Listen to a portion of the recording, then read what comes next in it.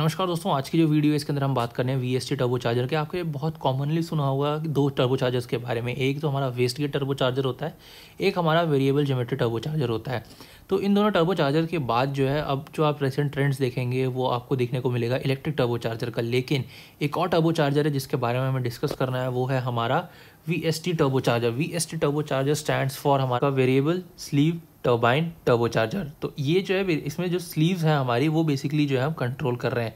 अब स्लीव्स को जो है हम वेरिएबली किस तरीके, इससे कंट्रोल कर रहे हैं, ये जो हमारा वॉल्व एक्चुएटर देख रहे हैं, ये जो है हमारा ई e से कंट्रोल होता है और ये पूरे का पूरा कंट्रोल जो है हमारा न्यूमेटिक फॉर्म में होता है और न्यूमेटिकली इसको जो है कंट्रोल किया जाता है। लेकिन आगे जाने से पहले हम पहले डिस्कस कर लेते हैं इसके पार्ट्स के बारे में।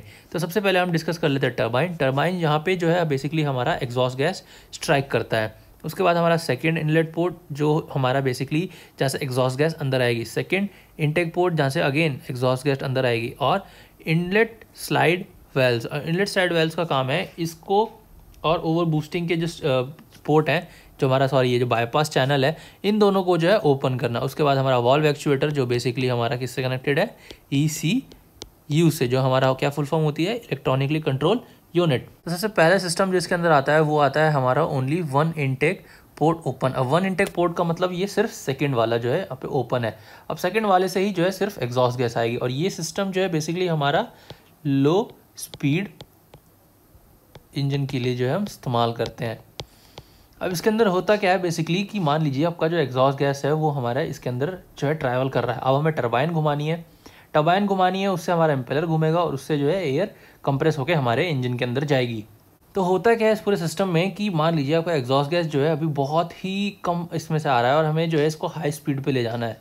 तो ताकि हमारा जो टर्बो लैग है, वो हमें देखने को ना मिले। तो इसके लिए जो है हम बेसिकली इसके छोटे इनलेट पोर्ट से जो है हम इसको अंदर लाएँगे। तो इसमें क्या हो रहा है कि हमारा एग्जॉस्ट गैस भी अंदर आ रही है और हमने इसका प्रेशर जो है एग्जॉस्ट का प्रेशर उसको भी जो है थोड़ा इंक्रीज़ कर दिया है। तो क्या होगा कि जैसे हमने इसको इंक्रीज़ कर दिया तो यहाँ पे जो है आपको हाई स्पीड देखने को मिलेगी। अब हाई स्पीड जो है बेसिकली क्या क्रिएट करेगा? टर्बाइन को जितनी जल्दी घुमाएगा, उतना तेज हाई कंप्रेशन क्रिएट होगा। स्पीड बढ़ेगी और उसी हिसाब से जो है हमारा आगे आगे का पूरा सिस्टम जो है, या फिर मैं कहूँ जो आपका एयर जो आपकी इंजन ब्लॉक में जाना चाहिए, वो हमें मिलेगा।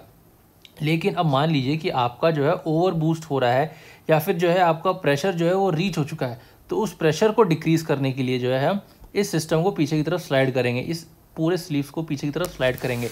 अब जैसे हमने पीछे की तरफ़ स्लाइड किया तो हमने यहाँ का प्रेशर और स्पीड ऑफ़ टर्बाइन दोनों को ही जो है कंट्रोल कर लिया। क्यों? क्योंकि अगर छोटा मुँह रहेगा तो आपकी स्पीड ज़्यादा रहेगी, आपका प्रेशर ज़्यादा रहेगा, ठीक है? अब जैसे ही हमने कोई बड़ा मुँह बड़ा मुँह उसको बना दिया तो क्या हुआ कि इसकी स्पीड भी कम हो गई और इसका प्रेशर भी कम हो गया। तो टर्बाइन की जो स्पीड है, वो भी जो है हमने यहाँ पे कंट्रोल कर ली। तो इस तरीके से जो है बेसिकली हम इसके अंदर कंट्रोलिंग करते हैं पूरे सिस्टम का। अब मान लीजिए कि तब भी, अब आपकी गाड़ी की स्पीड हो गई कम से कम 140 या फिर अब मान लीजिए 180 तो यहाँ पे जो है ओवर बूस्टिंग की कंडीशंस भी क्रिएट होंगी। तो ओवर बूस्टिंग की कंडीशन में ये और पीछे चला जाएगा। और जो हमारा बाईपास चैनल है, वहाँ से जितना भी एयर होगा, वो बाकी जो है, इस प्रेशर को और डिक्रीज़ कर देगा, ताकि हमारे पूरे का पूरा सिस्टम जो है, एक प्रॉपर प्रेशर के अंदर या प्रॉपर मेंटेनेबल प्रेशर के अंदर काम करे।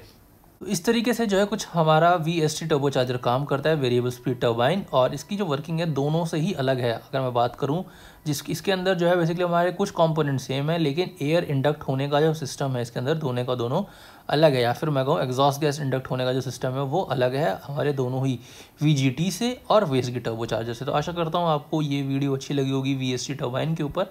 अगर आपको ये वीडियो अच्छी लगी तो इसको लाइक ज़रूर करें शेयर करें और सब्सक्राइब करना को क्योंकि हर हफ़्ते जो हम ऐसी वीडियोज़ डालते रहते हैं।